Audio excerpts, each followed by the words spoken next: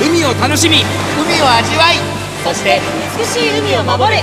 海と日本プロジェクト in 山梨。今年の夏山梨静岡の小学生たちは海をテーマにカルタ作りに挑戦。そこで海の楽しさや大切さを学ぶキッズサマースクールにカメラが密着。山梨と静岡のみんなで海カルタを作ろ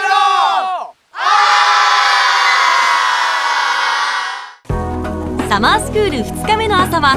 海に感謝の気持ちを込めてビーチクリーンを実施。このキッズサマースクールで清掃活動や海と楽しく遊ぶアクティビティを指導してくださったのが東海大学講師でプロのウィンドサーファーとしても活躍する郷志明則さんです。僕が一番にやっぱ伝えたいのは海ってめちゃ楽しいじゃんっていうとこなんですよね。それはあくまでもルールを守れば、えー、すげえ楽しいとこだったっていう思い出が彼らの中に今回来た子たちがそれが大人になった時に、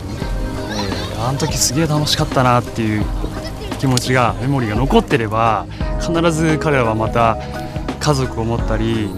した時に次の子供たちを連れてくるでしょうし、えーまあ、そういう時のためにもこういったビーチがずっとあるように、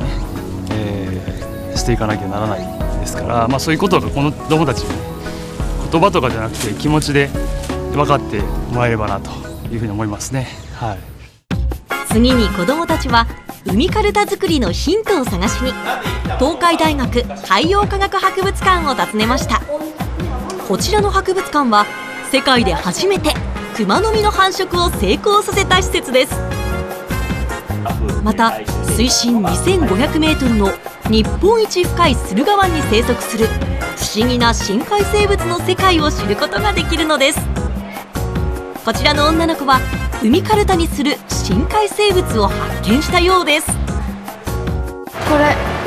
このこれ。これ何こ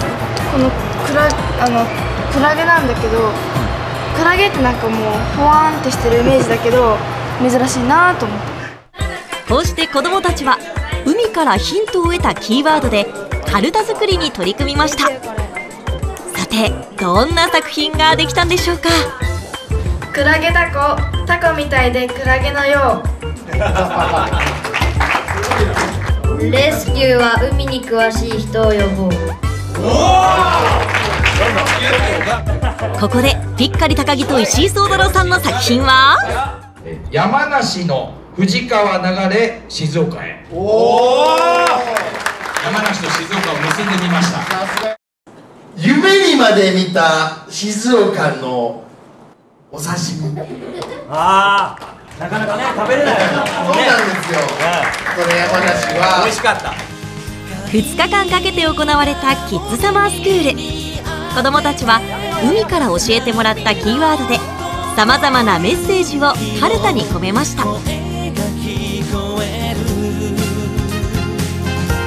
また山梨静岡の大切な友情の絆も深めたのです。